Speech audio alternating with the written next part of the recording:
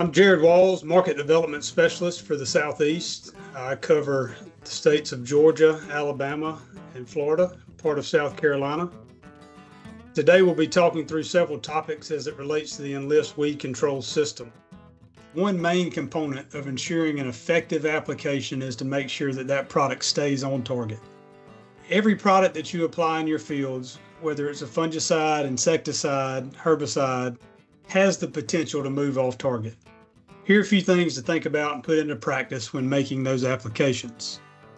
One way that a product can move off target is through a temperature inversion. An inversion is when a layer of warm air covers a layer of cooler air. This essentially traps any herbicide that's in that lower air layer and can cause it to hang up.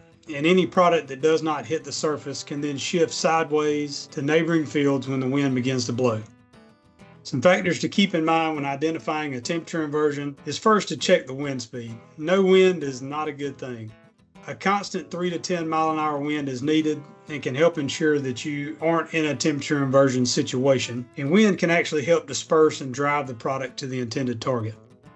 Time of day is another factor. Inversions typically occur later in the afternoon and can linger around early into the next morning.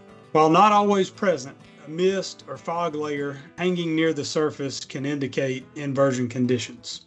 For more information on Enlist herbicides, please visit enlist.com or reach out to your local Corteva representative.